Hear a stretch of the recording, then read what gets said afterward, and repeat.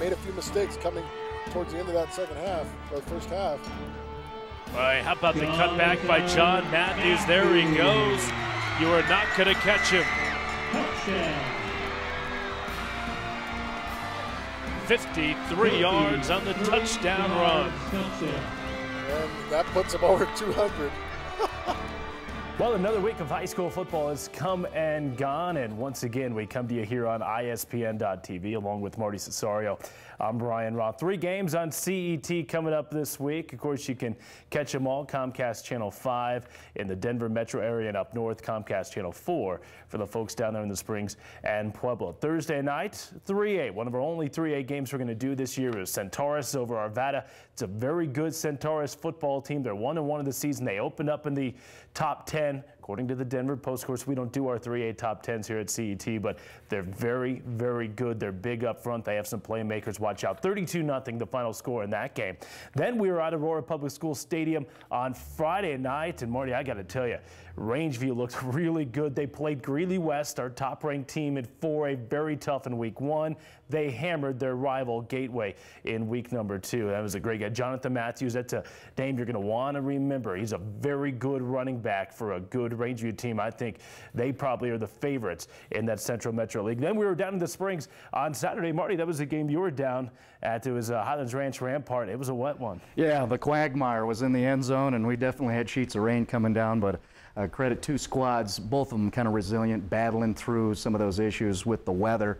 Highlands Ranch, though, pulled it off. Uh, you know, credit the style of play Coach Gorham has, and and uh, you know the defense stepped up and slot back Joe Hansley got it done. Highlands Ranch now one and one with only two teams undefeated now in the Southern League. Highlands Ranch right in the mix. You know, and and Rampart, that's a football team that uh, played Ponderosa tough in the 1st mm -hmm. week, and they played Highlands Ranch tough there in the second week. But uh, they're 0 and 2, and I know their numbers are a little bit down here this year. Okay, all right, here we go. Week number three, top 10. We start in Class 4A. Not much changes there as you look at it. Greeley West Still our top-ranked team. Boy, what they did to Broomfield this week is impressive. 28 to 6 over Broomfield. Meanwhile, Heritage, led by Mitch Greibel, three touchdown passes. They stay at two. Pine Creek. Monarch went to California. They get the win in California. They're 2-0. Wheat Ridge—I Tell you what, that Kyle Muse looks like he's going to be a pretty good replacement for Parker Orms. Montrose was idle. Fountain Fort Carson Marty, they're new into our poll, and uh, you know we didn't have them in our poll at first, but they have two impressive wins to open up the season. You know you got to give them love because they've got a little pedigree as a program. Certainly they were a quality squad last year, and here they are 3 and 0 to open up. So I think you got to put the Trojans in there. Yeah, absolutely. So Mitch Johnson and the uh, Trojans, they have a very good football team after making a great run last year. The rest of the top 10 and 4As, you look at it, get Longmont, Littleton, and Dakota Ridge. Broomfield falls out after that loss to Greeley West. Okay, moving on to Class 5A now, and Mullen. They stay at number one, and uh, they're going to take on Rockhurst here, but boy, they just destroyed Smoky Hill. Yeah, we're talking about a squad that scored 122 points in their three wins. They've given up only two second half touchdowns offensively, defensively. They're clicking. They're a juggernaut. They're going to take on Rockhurst and Casey. And then they've got a, a nice light schedule early on. You know, they're going to be up top for quite a while. Columbine, Bear Creek both cruised easy victories. Thunder Ridge knocked off their rival Mountain Vista.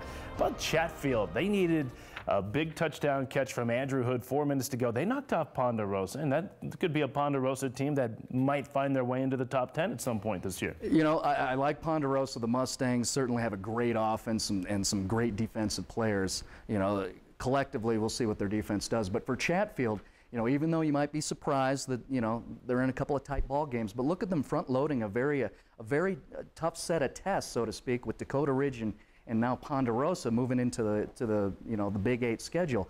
I think you know the Chargers is definitely a team that deserves to be where they're at, and definitely a squad to watch out for as we move closer and closer and closer to November. Yeah, as we get to the middle here of the top 10 in Class 5A, start time to talk about injuries. Kenny Bill is going to be out at least six weeks for Fairview broken collarbone. That's a huge loss, but Fairview continues to roll. They won their league opener. Grandview, Arvada West, Pomona, and Cherry Creek.